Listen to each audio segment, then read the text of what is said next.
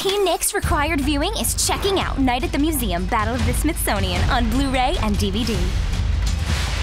Ben Stiller is back as Larry Daley, and this time he's got some important business to attend to in our nation's capital.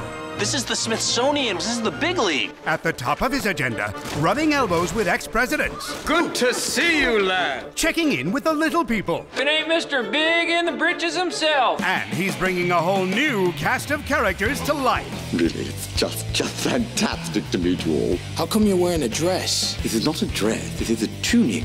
In this town, Larry is definitely the head honcho. To what do we owe this triumphant return? Uh, sort of. Stop!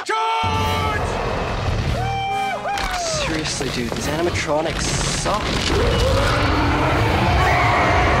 Night at the Museum Battle of the Smithsonian in stores December 1st. Rated PG.